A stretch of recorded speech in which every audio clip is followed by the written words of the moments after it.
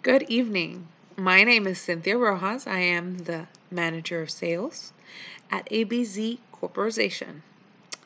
Today, I have the very biggest um, accomplishment for those that were working very, very hard in sales for the last four months.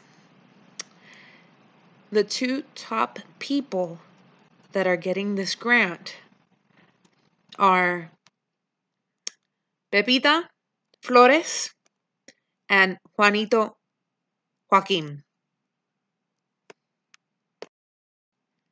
These two people have worked so hard to be at the top of our list for the last four months.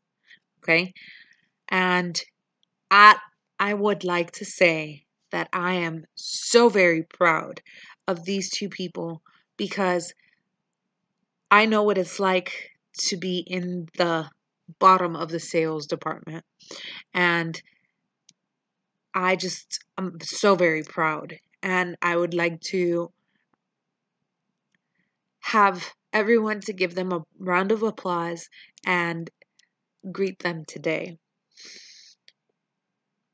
The grand total of the grant is coming out to $10,000 and it is being split amongst the two of you.